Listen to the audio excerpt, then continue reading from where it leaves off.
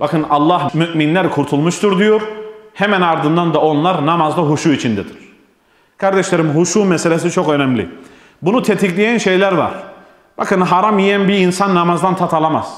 Haramlara bakan, gözü sürekli haramda olan, bu gerek telefonda, gerek televizyonda, gerek sokakta fark etmez. Haram her yerde haramdır. Adam televizyonda izleyince ya bu haram değildir diye düşünen insanlar var. Sen televizyonda da olsa, telefonda da olsa gördüğümüz her şey gözden kalbe iniyor. Yani gözden kalbe yol var. Senin baktığın her bir haram o tekbir aldığında namazın içerisinde sana etkileri var.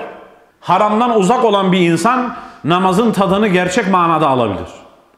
Mesela bazen adam diyor ki ya hocam ben 40 gün namaza başta daha bırakmazsın. 2 aydır namaz kılıyorum hiç tat alamıyorum diyor. Şimdi adam yaşamış 30 sene, 30 yaşında namaza başlamış. 15 senedir haramla meşgul olmuşsun. Bir ayda hemen namaza başlayınca uçmayı mı düşünüyorsun yani? Sen 20 senedir, 15 senedir hep haram içindesin. Hemen namaza başlar başlamaz böyle olağanüstü haller yaşayacağını düşünme. O kadar haram var, o kadar günah var. Kalbi batırmışız, günahlara dalmışız. Bunu temizlemek kolay değil. Bir anda insanın kendisini toparlaması mümkün değil. Yani sen 15 senelik günahı bir hafta namaz kılarak temizleyemezsin. Biraz bir devam et bakalım. Onun için namazda istikamet lazım.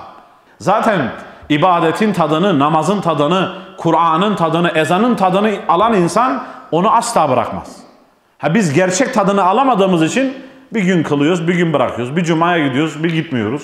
Bir bayrama gidiyoruz, bir gitmiyoruz. Neden? Çünkü hep haramla meşgul olmuşuz. Kardeşlerim bu gidişat hayırlı bir gidişat değil.